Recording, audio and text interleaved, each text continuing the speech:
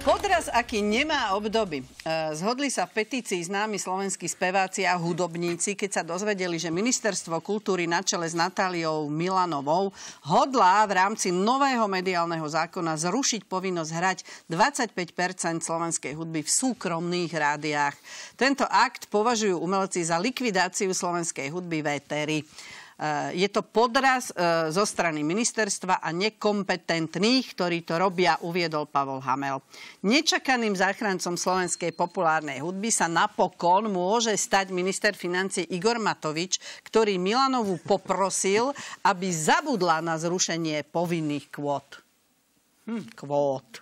Áno, tu je update krátky, že nebudú teda tie kvóty. Že bude to platiť ďalej. Že po, poprosil a ona to splnila. To je jeho želanie. Bo zabudla. To, vieš čo, lebo to, to, to pozor zabudla, lebo zabudne aj na Matoviča, vieš, to je, to je, e, to je taký ten selektívny, Nie, na Matoviča sa nedá zabudnúť.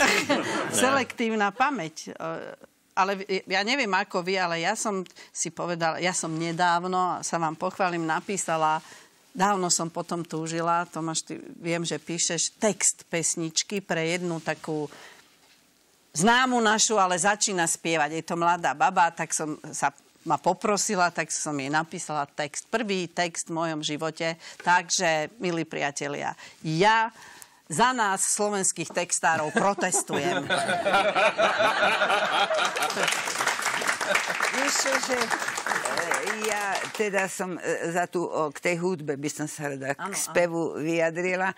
Moja mama mala krásny hlas, ale absolútne nejaký sluch.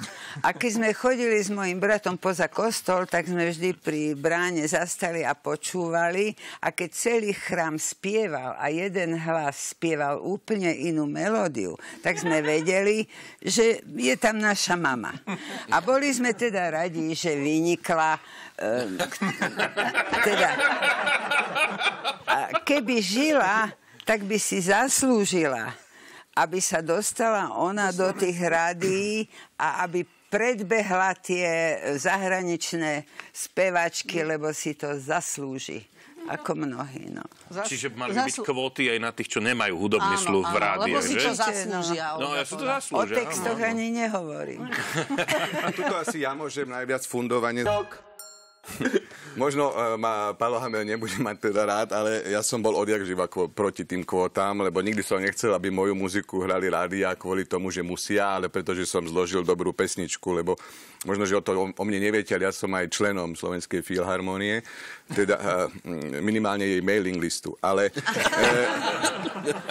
ale čo mne vždy prekážalo na spevákoch a hudobníkoch, že oni tesne predtým, ako sa blížil refrén, tak oni dali mikrofón publiku, že a teraz vy...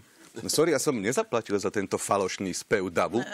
To je, to je ako keby ste na e, tajskej masáži, po, a tajka vám povie, no a teraz ty mne. Hej?